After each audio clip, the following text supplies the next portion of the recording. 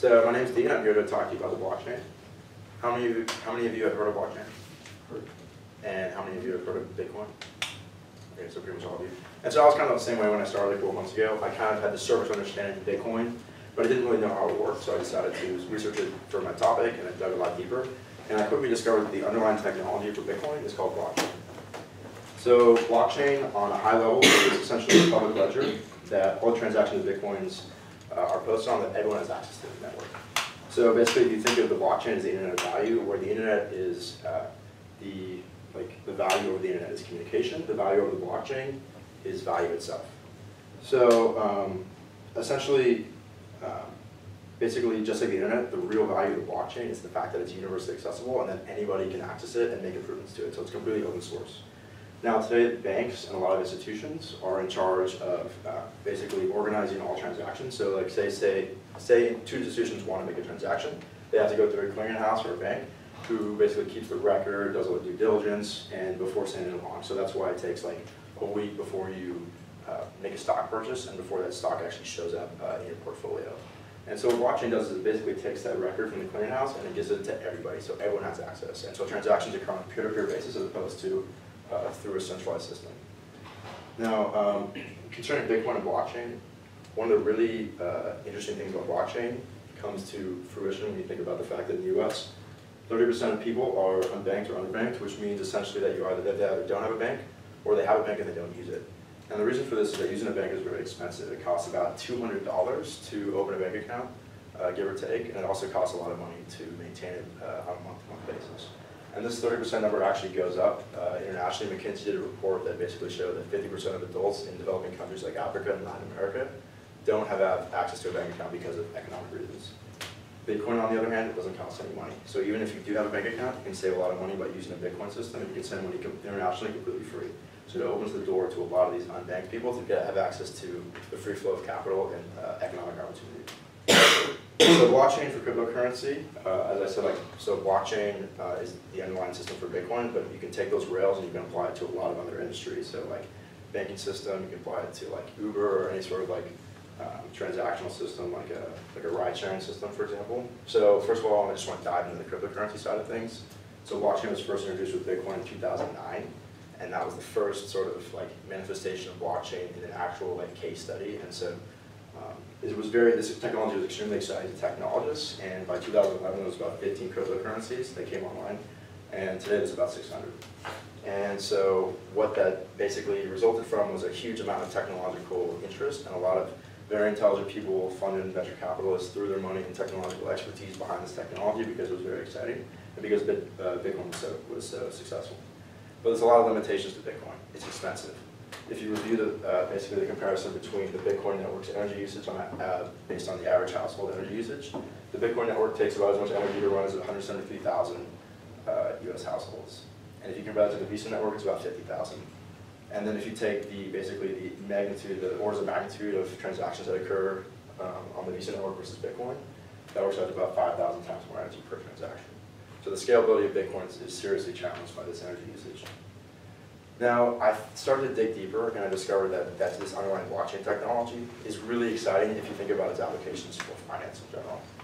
And so there's two companies that I want to highlight, which is Ethereum and Hyperledger, and these are two companies that in the last eight to 10 months have come out with a blockchain technology that comes with its own operating system. And this allows for companies basically, like say banks or Uber, blockchains downloaded, punch in 48 lines of code, and you have your own blockchain. So basically you can imagine taking companies and putting it on its own ledger using what's called a smart contract system.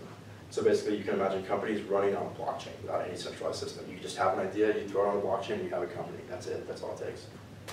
So blockchain for minutes. I actually sat down with someone at Stanford uh, a couple weeks ago named David Mazières, who wrote his own blockchain system called Stellar Consensus Protocol.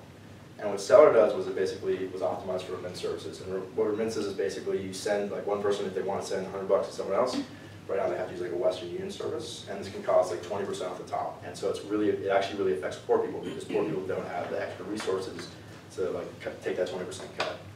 What Stellar does is it basically gives weight to the transactions, um, to the verification. So say like there's banks and there's individuals on the network, the banks have a lot more say in what transactions get verified. Whereas Bitcoin is totally anonymous. So it's a lot, so there's three like main characteristics that make Stellar better. Uh, for event services. It's low latency, which means that transactions go through instantly. It's very scalable, and that's a result of the energy efficiency. It actually doesn't really require much energy at all, because it doesn't use a proof of work protocol like Bitcoin does, which requires a ton of computational energy. And that's as a result of David Mazières and Stellar's uh, weighted trust transactional protocol. So some of the reasons why Bitcoin and blockchain technology are not sort of super, they haven't, they haven't blown up on a level uh, that you might expect based on the level of innovation associated with this technology. As I talked about before, there's high energy costs associated with verifying transactions, but there's technology like David Mazières' technology and others that uh, work to limit that. There's also a lot of security risks. We don't know how blockchain will work for a lot of these different types of uh, transactions on a high scale. There could be some security vulnerabilities. But in terms of security, it's important to consider the status quo versus versus blockchain. So banks right now, they have a perimeter security with a lot of encrypted data on the inside, and they're not that secure. So if you think about blockchain, you have this like totally decentralized ledger system, and one of the cool things about it is it's totally immutable, so you can't go back and change the record. So in a lot of ways, it's much, much more secure than uh, banks right now. And there's also a lot of government regulations. You think about a government might not be super uh, excited about the idea of having a currency on a distributed decentralized ledger system because they have less opportunity to uh, influence the financial system through um, through stimuli and through like different kinds of uh, rates, rate changes and stuff like that. And so just to kind of conclude where we are now is we have blockchains being used to facilitate the use of money through Bitcoin, through Stellar Protocol, um, and where we can go basically is to any industry where we can cut out the middleman. So Blythe Masters, who was a former CEO of JP Morgan, or former executive, excuse me, said that you should have paid, you should pay attention to blockchain the way you should have paid attention to the internet in the early 1990s. And there's a lot of technological uh, backing and a lot of smart people who agree with her. And so if you think about just the opportunity of cutting out the middleman in all, in all these different industries, the potential is, is really exciting. So thanks. I'll take any questions you guys have.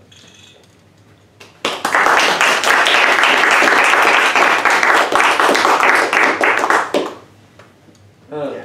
So if Stellar doesn't have proof of work, then how does that work with like the, or would the records theoretically be mutable if there's no proof of work? So the, the thing about Stellar is that it's completely optimized or it's only usable for the exchange of currency like US dollars and euro. It doesn't have its own cryptocurrency to another person. So basically you have all these people in the network and actually it's in Nigeria right now. There's 200,000 people in Nigeria who are using Stellar. And so basically say one person, say Alice wants to say, all right, I'm gonna send $10 to Bob. And she asks Bob, would you want 10 bucks in exchange for whatever service? And Bob says, okay. And they announce to the network, all right, Alice is giving Bob $10. And so they basically like announce that agreement through a certain like verification system that it goes through and the money's sent through. So in terms of like the ledger system, it's not as important as it is with Bitcoin, which has its own cryptocurrency because it doesn't have its own Okay. cryptocurrency. It's only utilizing like currency. uh, So is that, that's then more like Ripple then? It's, yeah, it's similar to Ripple actually. So the Okay. guy, so Mazières actually worked at Ripple before.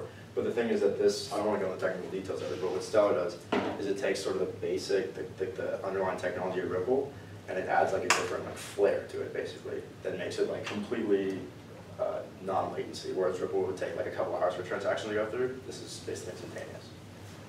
But, Um, does, this might be stupid, but does Venmo use something like that? so Venmo is uh, escrow system. It, it, it's not at all like this. Okay. But there's some real world examples would be NASDAQ. So NASDAQ, all their private equity is done on blockchain. This is a very recent change. And uh, IBM just adopted it for their internal structure. So, yeah. One thing at the, at the beginning, you mentioned that if the, so if the internet, and I'm, I'm probably gonna get it wrong, but if the, in, the value of the internet was in, the connections in the value of the blockchain was value itself.